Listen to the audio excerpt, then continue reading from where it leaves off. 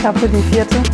Hallo, ich bin Melina, bin 21 Jahre alt und mache eine Ausbildung bei Elten zur Fachkraft für Lagerlogistik. Bei uns in der Logistik sind wir grundsätzlich für die Lagerung und die Beschaffenheit der Ware zuständig und dass die Ware zu den Kunden verschickt wird. Die Logistik ist der Dreh- und Angelpunkt, weil ohne die Logistik läuft nichts. Nein. Meine Aufgaben als Azubi sind Ware kommissionieren, versenden und verpacken.